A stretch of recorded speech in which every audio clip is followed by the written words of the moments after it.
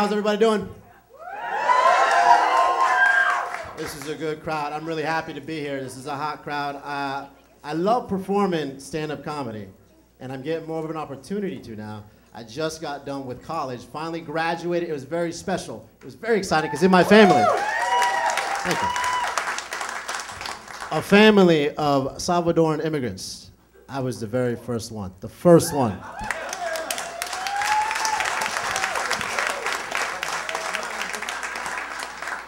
The very first one to take 11 years to graduate.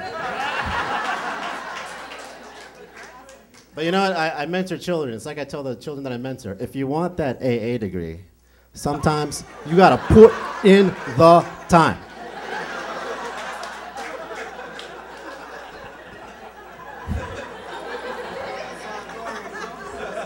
You guys are a smart crowd. I, I like that. No, because I've done that joke before, and some people get offended.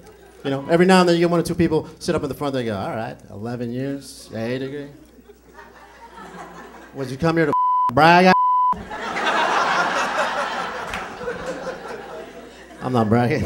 I just I heard I heard stay in school, right? Everyone has heard stay in school. I just took it to heart right there. That got me right there.